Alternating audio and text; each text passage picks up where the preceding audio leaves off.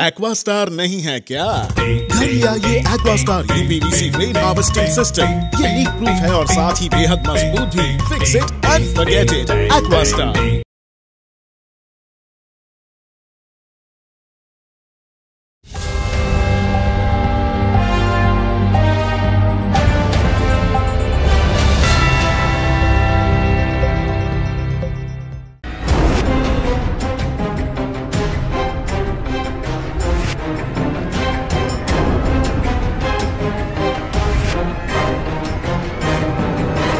Diglipur police ने हिरण के मांस के साथ एक व्यक्ति को गिरफ़्तार किया है।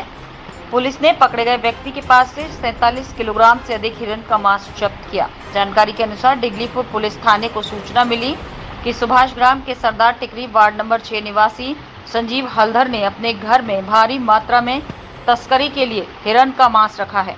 सूचना के बाद थाना प्रभारी के विनोज ने एक टीम बनाकर मौके पर छापामार कार्रवाई की। बीमारी के दौरान पुलिस टीम ने देखा कि एक व्यक्ति अपने एक हाथ में वजनदार बैग ले जा रहा है।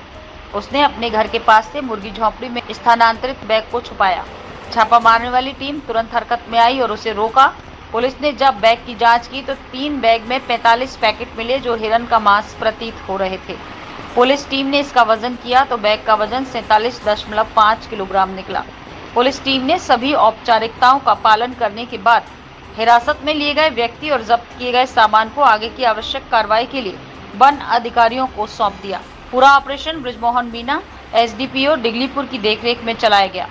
मध्योत्तर अंडमान पुलिस ने कहा कि जिला पुलिस किसी भी संगठित अपराध के प्रति ज़ीरो टॉलरेंस की नीति का पालन करती है।